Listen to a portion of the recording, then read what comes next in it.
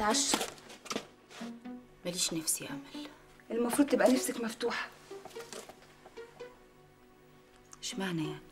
حد يتقدم له عريس زي الأستاذ مروان وما تبقاش نفسه مفتوحة للدنيا كلها. الله يخليك يا أمل. أنا مش عايزة أتكلم في الموضوع ده تاني.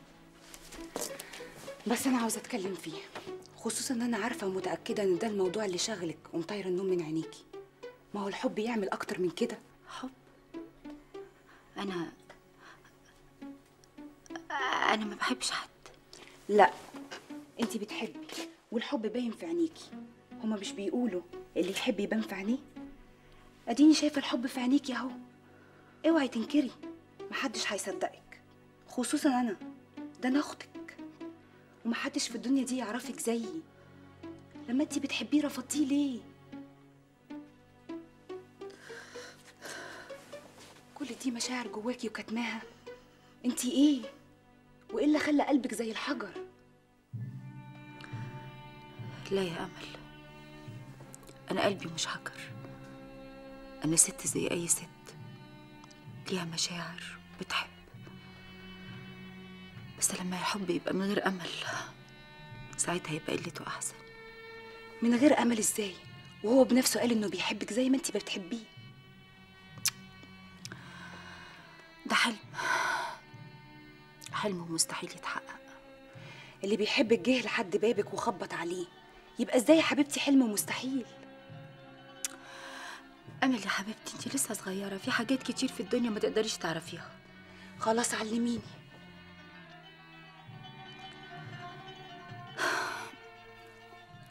لا أنا من توب مروان ولا مروان من توبي. لا أنا هقدر اطلع له البرج اللي هو عايش فيه. ولا هو هيقدر ينزل لي الحارة اللي أنا عايشة فيها. عرفتي بقى؟ ليه الحب ده مستحيل. عرفتي كمان ان جوازنا لازم يبقى محكوم عليه بالفشل مقدما. ليه بتحكمي على التجربه من قبل ما تدخليها؟ خلاص. كفاياني تجارب. قلبي ما عادش فيه مكان لجرح جديد. انسه أمل. إزيك يا أستاذ مروان؟ الحمد لله. انت أنت عرفتي مكان البازار إزاي؟ من الكارت اللي سبته لماما قبل كده. طب اتفضلي اتفضلي. أهلا وسهلا اتفضلي. انسه أمل أخت نوال عادل صديقي وشغال معايا هنا في البازار. أهلا وسهلا. تشرفنا. أهلا وسهلا. اتفضلي اتفضلي. تشربي إيه؟ متشكرة ملوش لزوم. خير يا انسه أمل. أقصد يعني أنا هدخل في الموضوع على طول. نوال حكت لي على كل حاجة. أنا جاية عشان أقول لك على حاجة واحدة بس يا أستاذ مروان. نوال بتحبك. بتحبني؟ أيوه وأنا واثقة من اللي بقوله لك. وهي كمان اعترفت لي. اعترفت لك؟ أمال ليه يعني لما؟ دلع ستات بقى. الحقيقة كده مش فاهم حاجة. نوال معذورة. هي ياما شافت وقاست. عشان كده مبقاش عندها ثقة في أي راجل. وكمان خايفة تدخل أي تجربة جواز تنجرح فيها من تاني. أيوه بس أنا كانت نيتي ناحيه نوال إني ادولها كل جروحها اللي فاتت. خلاص إحنا فيها. تقصدي إيه؟ اللي يشتري ما يبيعش واللي يحب لازم يحارب عشان يوصل للي بيحبه. وأنا عندي استعداد أعمل أي حاجة عشان تكون نوال ليا وأنا جاية عشان أقول لك تعمل. ها عاملة إيه دلوقتي يا عواطف؟ زي ما أنت شايف يا دكتور. طب أنا عاوزك تجهزي نفسك للعملية. وفي دكتور تجميل هيجي إن شاء الله النهارده آخر النهار. يشوفك وإن شاء الله يعمل لك العملية في أقرب وقت. دكتور تجميل بس بس أصل إحنا يعني ما طلبناش دكتور تجميل. والحقيقة إحنا معناش فلوس العملية. إزاي؟ في واحد قال إنه قريب مدام عواطف. دفع مبلغ كبير في حساب المستشفى وقال لو احتاجنا زيادة ومستعد يسدها أنا ماليش قرايب. اسمه إيه ده؟ هو ساب لي الكارت بتاعه. اسمه مروان العقاد. لكن هو عرف منين اللي حصل لعواطف. مش عارفه بس متهيألي لازم يكون قرأ الحادثة في الجورنال. لا ده كده ما يبقاش راجل عادي ده ملاك. مش قلتلكوا الراجل ده ابن حلال مصفي. أكيد مادام راح دفع مبلغ زي ده لواحدة ما يعرفهاش علشان ينقذها من المحنة اللي هي فيها يبقى أكيد ده إنسان نبيل ملوش زي في شهامته ورجولته وأخلاقه. بس الغريبة يعني هو ما يعرفش عواطف يعرفها منين عشان يعمل معاها كل ده؟ انت ناسيه انه شافها في خطوبتي وعارف انها صاحبتك واكيد قرا اللي حصل لها في الجرايد علشان كده دفع لها فلوس عملية التجميل بعد ما صعبت عليه. إلهي ربنا يكرمه ويوسع في رزقه زي ما بيقف جنب الناس الغلابة. سكت ليه يا نوال. يعني مش لاقي كلام أقوله. أهي الأحداث كلها بتثبت لك قد إيه الأستاذ مروان ده إنسان عظيم وما هواش زي ما كنتي فاكرة. أه واقف جنب عواطف من غير ما يستنى منها حاجة. عندك حق يا أمل.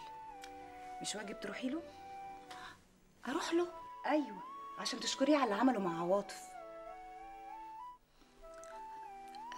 أيوه بس بس يعني هقابله بأني وش؟ شوفي انتي بقى. أهلا وسهلا. نورتي البازار. أهلا بيك يا أستاذ مروان. أستاذ مروان. لا انت تقولي لي مروان بس. أنت ليه مصرة تعملي تكليف بينا؟ أنا أنا كنت جاية عشان أشكرك على اللي عملته مع عواطف. تشكريني على إيه؟ أنا ما عملتش غير الواجب وبس. عواطف كانت في محنة ولازم نقف جنبها في محنتها. بس أنت شهم وابن حلال قوي يا أستاذ مروان. كلنا ولاد حلال. وأنت اولنا ما أنت برضو ما سبتيهاش من ساعة اللي حصل. زي ما عملتي معايا تمام. فضلتي سهرانة جنبي أيام وليالي وأنا راقد في المستشفى. أنا كمان كنت عايزة اتاسف لا لا لا, لا. عشان على إيه؟ أنا مش زعلان منك. وبعدين يعني لو ما كنتش أنا اللي أقدر ظروفك وأعذرك مين اللي هيقدرها؟ أنا كلمي يا نوال. أنا نفسي أسمع كل اللي جواكي واللي أنت خايفة تقوليه. قولي إنك بتحبيني. الحب مش عيب بالعكس ده انبل المشاعر في الدنيا. طالما ما فيش وراها غلط. وصدقيني السعادة بتيجي للإنسان مرة واحدة في عمره ولو ضاعت منه هيندم عليها العمر كله. بلاش تخلي الخوف اللي جواكي يسرق منك فرحتك. مش لاقية كلام اقوله لك خلاص عينيكي قالت كل حاجة. أنت بتفهم في كلام العينين؟ عيون اللي بحبهم بس ويا ريت هما كمان يقروا اللي جوه في عينيا عشان يعرفوا قد إيه أنا بحبهم. ومحتاج لهم. وإن سعادتنا إحنا الاتنين مرتبطة ببعض. نوال أنا سابق قبل كده وطلبت إيدك للجواز. مش هعتبر ردك قبل كده رد نهائي. واديني بطلبها مرة تانية. تتجوزيني.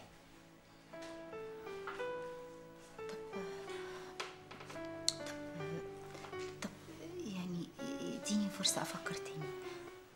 وإن شاء الله بعد عواطف ما تعمل العملية هتسمع ردي نوال طليقة مرع الحرامي؟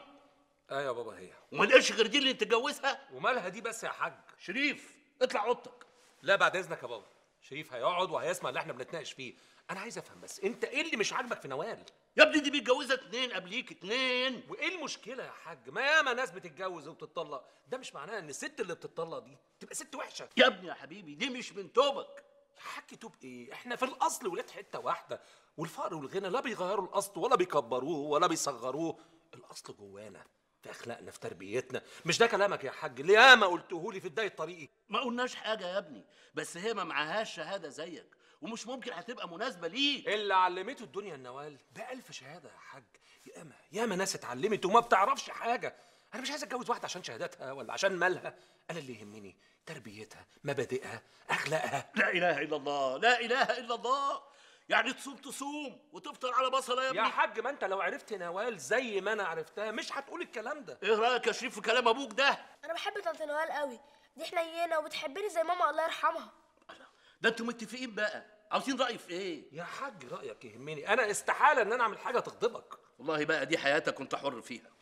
طب يا حاج دلوقتي أنا عايزك تيجي معايا عشان نروح نتقدم لها. ليه انت صغير؟ ما تروح لوحدك انت وتتقدم لها مش هاجي معاك. ما يصحش يا حاج اللي انت بتقوله أنا ما عنديش كلام غير اللي قلته.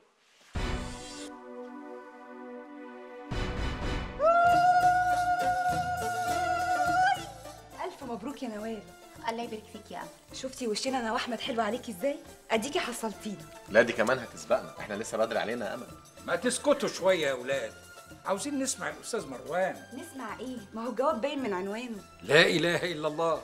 يعني ما فيش فايدة. لا مؤاخذة يا أستاذ مروان. أصل نوال طلبت مني أحضر القعدة. ده إذا كان ما يضايقكش. لا لا اطلاقا يا عم صلاح. ده أنت منورنا ومشرفنا كمان. الله يخليك. الحقيقة يا جماعة أنا جاي طالب إيد نوال. ويسعدني ويشرفني إنها تكون مراتي. آه. إيه رأيك يا نوال؟ أنا موافقة. جميل. وأنت يا أستاذ أسامة رأيك إيه؟ ما دام ماما موافقة يبقى أنا موافقة. عظيم. والحاجة موافقة وأمل موافقة كمان. يبقى على بركة الله. قول لي بقى يا أستاذ مروان إيه طلباتك أنا؟ أنا ماليش أي طلبات. نوال عندي بالدنيا كلها. الشقة موجودة والعفش موجود ولو نوال ليها أي طلبات أنا جاهز. وبالنسبة للفرح إن شاء الله هنعمله في اكبر فندق. طب والشبكة؟ شبكة؟ شبكة إيه يا امل أنا مش عايزة شبكة. إيه اللي بتقوليه ده يا نوال؟ لازم تيجي شبكة طبعا تيجي على ذوقك مهما كان ثمنها مفيش حاجة في الدنيا دي كلها ممكن تغلى عليكي. يا سلام على الكلام الحلو. تعلم يا دكتور. طيب آه، نتكلم بقى بالنسبة للمهر. مهر إيه يا ابني؟ أنت مش بتقول إنك هتجهزها من مجاميعه؟ يبقى ملهاش حق في أي مهر. طيب خلاص. يبقى خلينا بقى في مؤخر الصداقة. أنا بقول مؤخر الصداقه 100000 جنيه. مؤخر صداق و ألف جنيه؟ ليه؟ أنت ناوي تطلقها بعد كده كفالة الشر؟ لا خالص اطلاقا ربنا ما يجيب حاجة وحشة يا جماعة. إيه اللي حضرتك بتقوليه ده. بس يعني ده حقها و... وأنا مش عايز أي حق من حقوقها ينقص خالص. يعني زيها زي أي عروسة بتتجوز. لا يا مروان أنا مش موافقة. عريسك عداه العيب يا نوال. ما هو مفيش عروسة ملهاش مؤخر صداق لو كان ربع جنيه أو حتى مئة ألف جنيه ما تفرقش وإن شاء الله ربنا ما يجيبش حاجة وحشة. يا رب إن شاء الله. والخطوبة إن شاء الله إمتى يا أستاذ مروان والله أنا أنا أنا جاهز ويا ريت يكون جواز على طول في أقرب وقت ممكن. لا بس الجواز يعني محتاج لترتيبات و... ما تشغليش بالك بحاجة خالص. سيبي كل حاجة عليا. بس أنت قولي آه. إيه رايكم يا جماعة نخليها يعني آخر خميس في الشهر ده؟ كويس يا ابني. طب سمعينا زغروطه حلوة بقى يا منوال قوي تعالى يا شريف تعالى حبيبي خدني شوية. انت وحشتني وحشتني قوي قوي. انت اللي ما كنتيش بتيجي تزوريني يا طنط. يا حبيب قلبي معلش والله غصب عني. كانت ظروف لكن بعد كده مفيش حاجة هتحوشني عنك ابدا. وانت وأسامة هتبقوا أنتوا الاتنين إخوات. في حاجة كمان أنا من النهارده مش عايزاك تقولي يا طنط دي خالص. عايزاك تقولي يا ماما. حاضر يا ماما. يروح قلب ماما. لكن لا مؤاخذة يا أستاذ مروان. الحاج منظور والدك ما جاش معاك ليه؟ هو الحقيقة الحاج منظور عنده برد وعشان كده ما قدرش يجي. لكن في الليلة الكبيرة أكيد هيكون موجود طبعا. إيه رأيك بقى في المحل ده نوال حلو قوي بس باين عليه حاجته غالية. وبعدين بقى مفيش حاجة في الدنيا ممكن تجمع بينا انت ما عليكي غير إنك تشاوري وأنا أقول شبيك لبيك عبدك وملك إيديك. ربنا ما يحرمنيش منك ابدا يا مروان. ولا يحرمني منك. يلا بينا بقى عروس عشان نرقي كل الفساتين اللي تعجبك. الفرح مش فاضل نوال. ما شاء الله. الله أكبر الله أكبر. بقول لك إيه قبل ما تنزلي من الأوضة حطي أي حاجة زرقاء خرزة ولا أي حاجة. قول لي يا حبيبي إيه رأيك؟ حلو فستاني؟ فستان إيه اللي حلو؟ أنت كلك على بعضك تجنني. قمر 14 يا ناس. أنا لسه كنت بقول لماما إنها ولا نجوم السينما. بسم الله ما شاء الله. والله ما أنا مصدقة إنك نوال بنت بطني. ليه بقى ياما قصدي ليه بقى يا ماما؟ ما نشبهش ولا ما نشبهش؟ ده أنا دلوقتي بقيت نوال هانم. هانم وست الهوانم كمان. أما كانت حتة حفلة وبصراحة بصراحة أنت كنتي أحلى ما فيها. تعالي يا أمل اقعدي عايزة أتكلم معاكي. خير يا نوال. أنت إيه اللي خلاكي تعزمي لوستا صلاح وعم سلامة في الحفلة دي؟ وما عزمهمش ليه هم اغراب دول أهل حتتنا وأنا قلت يفرحوا معانا و... كان لازم تستأذنيني الأول يا أمل. أستأذنك؟ عندك حق أنا آسفة. كان لازم أفتكر إن البيت ده بيتك وأنا يا دوب ضيفة فيه. والضيف ملوش أي حق من حقوق صاحب البيت. ما تبقيش عبيطة. أنا ما اقصدش كده خالص. البيت ده بيتك قبلي. أمال إيه معنى كلامك ده؟ تفتكري لوستا صلاح الحلاق وعم سلامة البقال مناسبين لحفلة زي دي؟